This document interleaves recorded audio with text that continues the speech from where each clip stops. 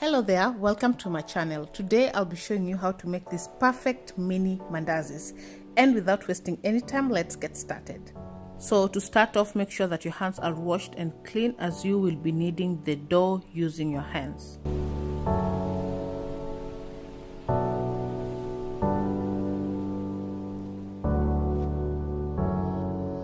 Add in your flour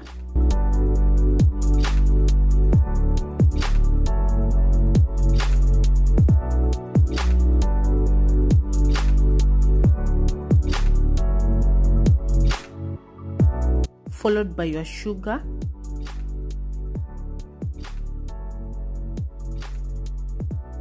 And mix all the dry ingredients together.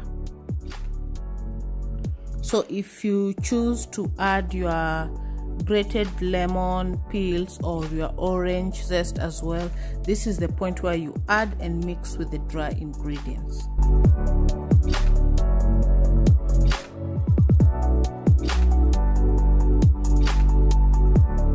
Once that is done, we'll be adding in our margarine.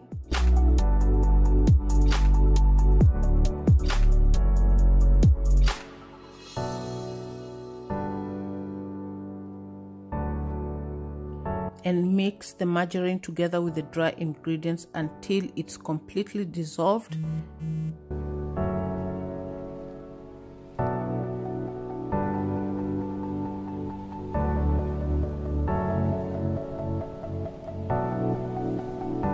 Once everything is well mixed, at this point add in your eggs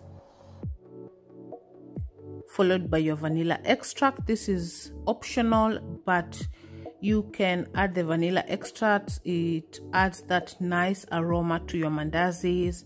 It sort of feels like a cake uh, aroma, so it's really, really nice if you choose to add the vanilla extract. Mix all the wet ingredients together with the dry ingredients.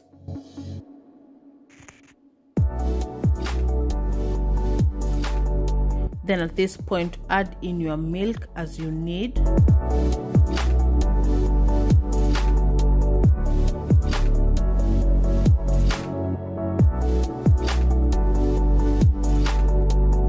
Add in the milk slowly by bits so that you do not make your dough mushy.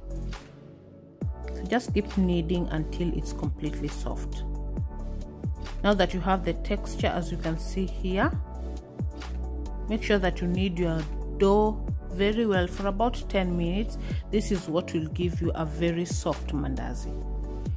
Then cover your dough with a kitchen towel or a foil and let it rest for about 30 minutes to an hour. So 40 minutes later, the dough is ready. You can see how soft it is. So at this point, you roll your dough and cut it into the desired shapes. Uh, today I'm just cutting them into squares or rectangles you, if you want you can cut them into very small stripes and braid them. You can use a bottle top to make round shapes. So you can always play around with your dough to create the shapes that you want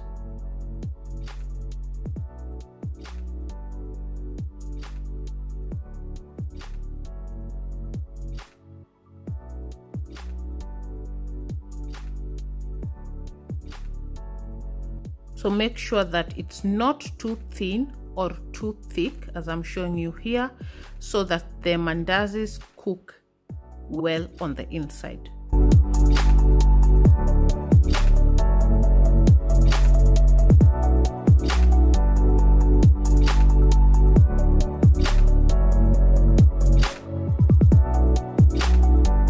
Once you're done line your bowl with paper towels just to soak in the excess oil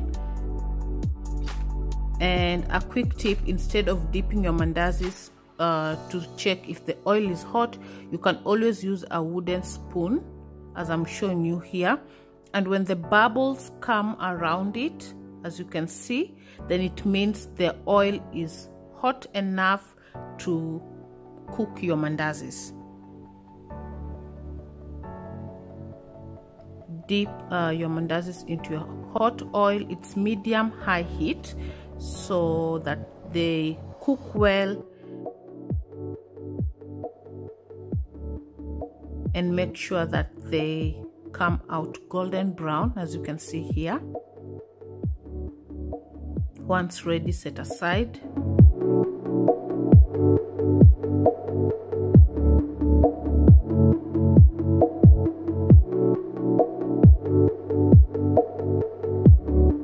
also wanted to show you guys you can see that the mandazis come out dry not oily and this is what you want. You don't want oily mandazis. Continue to cook the rest of your mandazis